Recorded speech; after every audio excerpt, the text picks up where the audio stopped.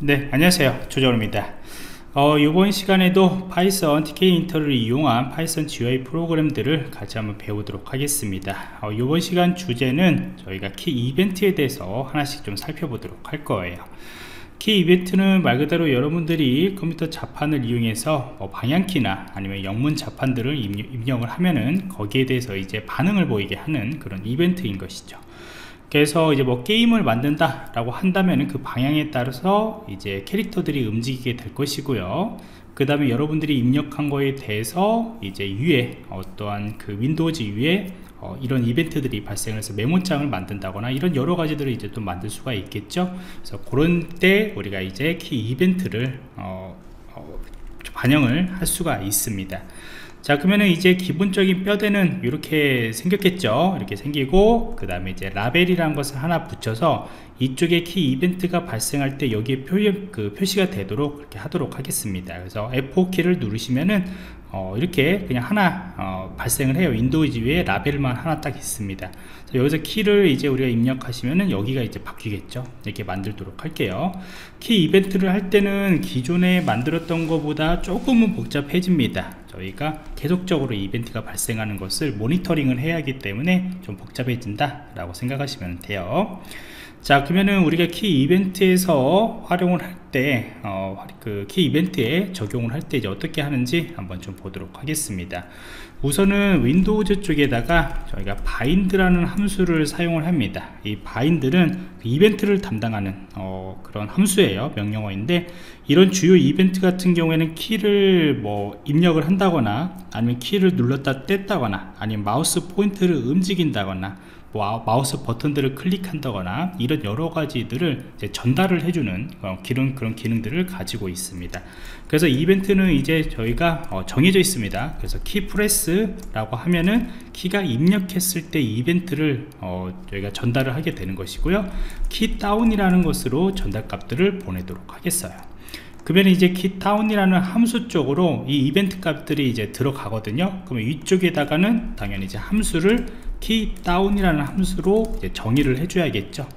그 다음에 어, 키값을 하나 이제 정의를 해줄 건데 키는 어, 여기다가 처음에는 이제 널값으로 하나 이렇게 처리를 하도록 할게요. 나중에 이것을 가지고 저희가 이벤트를 처리를 할 겁니다. 이 키값은 이제 받는 이벤트 값이죠 그러면 이제 이 키값 같은 경우는 저희가 글로벌이라고 하는 어, 것으로 선언을 할 겁니다. 저희가 전, 그 전역 변수로 어, 선언을 하도록 할 것이고요. 전역 변수로 사용하는 이유들은 이제 요 변화하는 값을 이제 전체 함수에 적용을 하기 위한 목적으로 저희가 글로벌로 저희가 설정을 했습니다. 자 그러면 이제 키가 이벤트가 발생을 할 건데 이제까지는 저희가 함수를 할 때 뒤에 아무것도 여기는 여기도 지금 현재 보면 아무것도 안 그 같이 어, 파라미터 값이 전달이 안 되는 것 같지만은 여기에 이벤트라고 하는 요 값을 통해 가지고 여기서 어, 발생을 하면은 전달을 할 겁니다. 그렇기 때문에 받는 어, 파라미터 값들이 하나 있어야 하고요 어, 이 안에다가 이제 키 값이라고 하는 것은 이 키의 값을 가져오는 겁니다. 근데 이제 키라고 가져올 때는 두 가지 방식이 있습니다. keycode라고 하는 방식이 있고요. 그 다음에 지금 사용하는 keysym이라는 방식으로 어, 사용을 하고 있어요. 근데 코드로 가져오면 이게 코드 값으로 이제 번호로 입력을 하게 되는 건데 몇 개 자판 같은 경우에 정상적으로 좀 전달이 안 되는 경우들이 있어요. 그래서 우리는 요것을 사용을 할 겁니다. 그래서 그냥 요것으로 그냥 사용한다 이렇게 생각하시면 됩니다. 어, 모든 키 이벤트 같은 경우는 이게 조금 편합니다. 확실히 좀 편해요. 자 그러면 우리가 이 키 이벤트에 발생한 것을 저희가 어, 어떻게 전달이 오는지 한번 프린터 값으로 우선은 입력을 하도록 하겠습니다. 그래서 키 입력 값들이 어떤 걸로 전달이 되는지 우선 확인차 저희가 키 값들을 예, 출력을 하게 될 것이고요 자 그러면 한번 이렇게 작동을 한번 해볼게요. 여기까지 동작이 되는가 한번 봐야겠죠? 그래서 F4키를 눌러서 한번 동작을 시켜 보도록 하겠습니다. 그러면은 제가 키값을 하면은 예 지금 현재 전달은 되죠 지금 아래쪽 얘가 변하는 거 아닙니다. 아직 얘한테는 예, 우리가 수정을 하지 않았죠. 여기다 적용하도록 그렇게 하질 않았고요.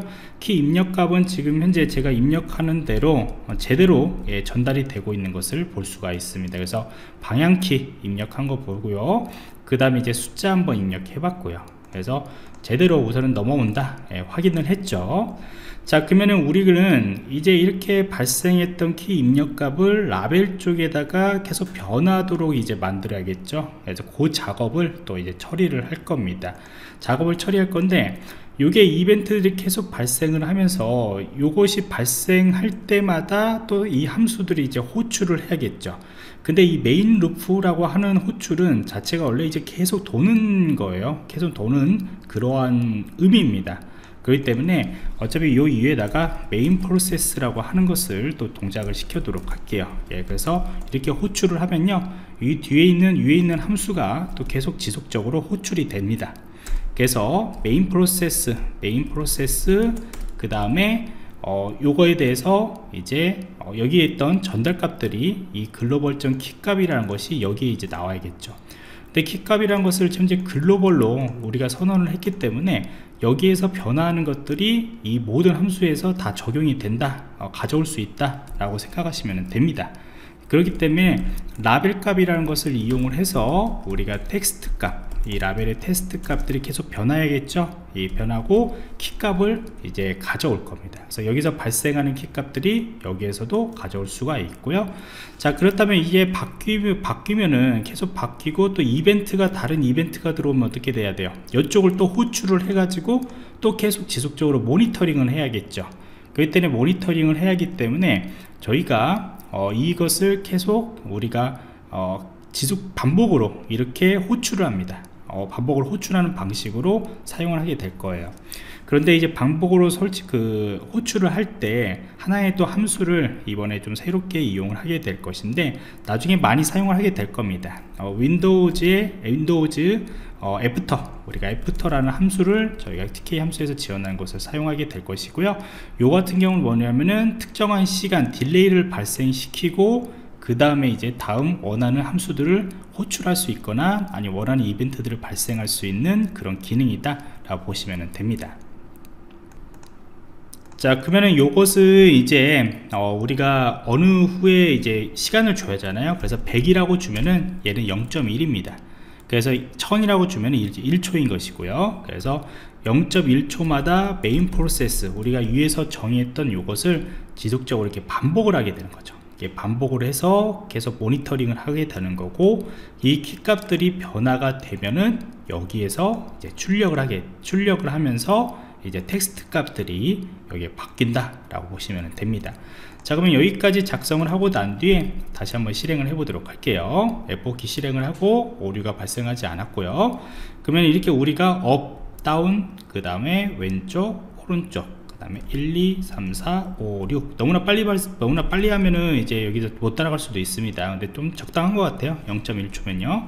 자 그래서 이렇게 동작이 되는 것을 볼 수가 있습니다. 그러면은 정상적으로 다 출력이 되는 것을 이제 확인을 했고요. 그러면 우리가 이제 이제부터 해야 할 것은 뭐냐면은 이 키 이벤트에 따라서 어떤 액션 값들을 여기다가 여러분들이 아이디어를 어, 넣어서 어떻게 할 것이냐 뭐 캐릭터를 움직이게 할 것이냐 사진이 바뀌게 할 것이냐 뭐 이런 것들이 있죠. 이런 것들을 나중에 구현을 할 수가 있습니다